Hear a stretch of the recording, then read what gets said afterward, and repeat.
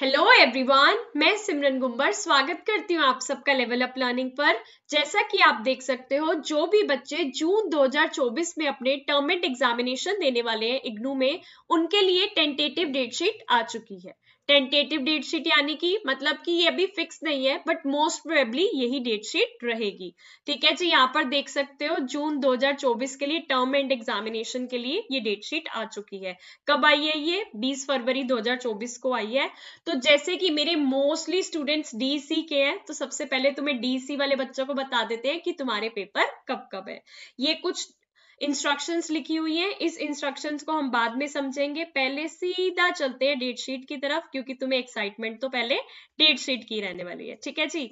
अब मैंने यहाँ पर इसको थोड़ा सा जूम कर दिया है।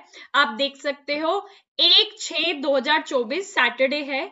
एक जून 2024 को आपका डीईसीई वन का पेपर है। ठीक है जी? मॉर्निंग शिफ्ट में पेपर है, यानी कि सुबह 10 बजे से लेके एक बजे तक पेपर होगा। तीन घंटे का तुम्हारा पेपर होता है। डीसी वन का पेपर कब है? एक जून 2024 को सैटरडे का दिन है। फिर संडे की मिल गई छुट्टी। तीन जून 2024 तीन जून 2024 मंडे है, तब आपका डीसी टू का पेपर है। और फिर चार जून 2024 ट्यूसडे है, फिर आपका डीसी थ्री का पेपर है। देखो मैंने मार्क कर दिया है। डीसी वन एक जून डीसी टू तीन जून डीसी थ्री चार जून। अभी ये टेंटेटिव डेटशीट आई है बट मोस्ट प्रोबेबली यही डेटशीट रहती है तो आप मानकर चलो, आपके पेपर बस अब आ गए हैं। ठीक है जी, बच्चे पूछते हैं, मैम, कितने नंबर वाला पास होता है? तो देखो, वैसे तो तुम अच्छे बच्चे हो, अच्छे से पढ़ाई करना तो कितने नंबर वाला पास होता है, इसकी टेंशन होगी नहीं। बट स्टिल पैंतीस नंबर वाला पास होता है डीईसी में तो सौ में से आप पैंतीस या पैंतीस से ज़्यादा लाओगे, तभी पास होगे।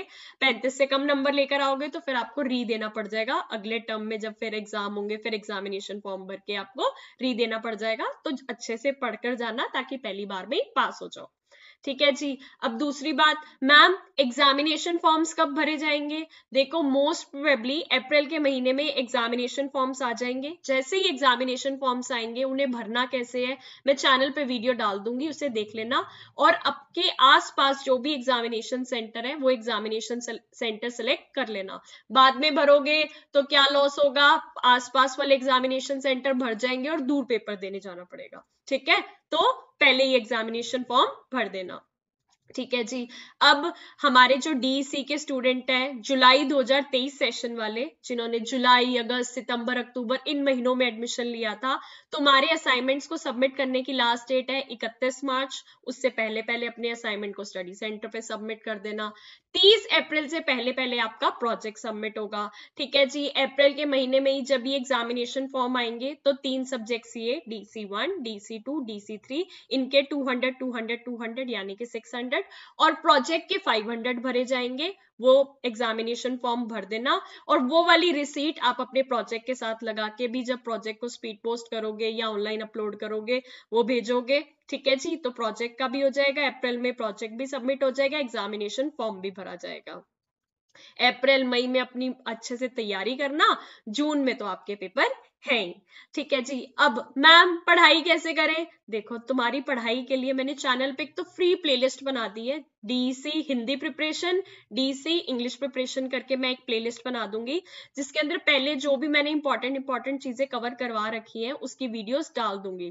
पहले जो हमने पढ़ाया था, उसी टाइप का पेपर में आ गया था तो इंपॉर्टेंट क्वेश्चन वही है, कोई न्यू चीज़ें उसमें एड हुई नहीं। ठीक है, बाकी और मुझे कुछ लगेगा, कुछ और इंपॉर्टेंट है, जो तुम्हें पढ़ाना चाहिए या वो करना चाहिए, वो मैं नई वीडियोस डाल दूँगी। हमसे इंपॉर्टेंट क्वेश्चन आंसर की पीडीएफ लेना चाहो पर सब्जेक्ट हंड्रेड रुपीज़ में मिल जाएगी, तीनों सब्जेक्ट्स की आपको थ्री हंड्रेड में मिल जाएगी। ठीक है जी? मेरा एग्ज़ाम प्रिपरेशन कोर्स लेना चाहो, वो आपको फाइव नाइन नाइन में मिल जाएगा, जिसके अंदर तीनों सब्जेक्ट्स की तैयारी करवाई जाएगी इंपॉर्टेंट क्वेश्चन आंसर की पीडीएफ भी मिलेगी। ठीक है जी। अब अपनी कमर को कस लो, जुलाई 2023 सेशन वाले बच्चों, अब तो तुम्हारी डेट शीट भी आ गई है। बाकी आगे जो भी जैसे जैसे अपडेट्स होंगे, मैं टाइम टू टाइम देती रहूँगी। अब एक बार ऊपर आपको एक चीज़ ये बता देते हैं।